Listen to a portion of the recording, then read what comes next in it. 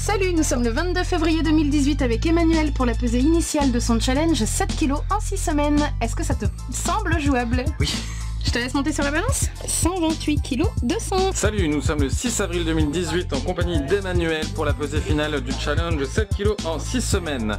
Son poids initial était de 128 kg 200, tu dois donc faire 121 kg 200. Est-ce que tu penses que c'est jouable? Oui. Allez, on y va. 116 kg 300.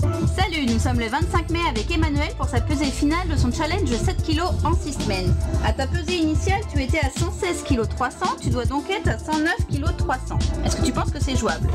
Oui, je, je crois des doigts. Allez, je te laisse monter sur la balance. 106 kg 900.